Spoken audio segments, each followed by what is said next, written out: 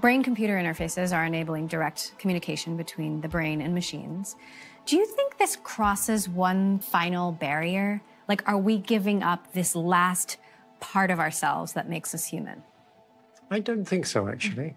I think they're a kind of neat idea. I don't, I don't see that as a loss of humanity. As AI is influencing more and more of our decisions, are we willingly opening ourselves up to some form of mind control? Like, could AI challenge what it means to have free will? In order to answer that, we need to agree on what free will is.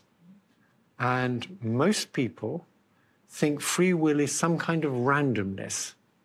I think that's complete nonsense. Free will is doing it to achieve your own goals, not to achieve somebody else's goals.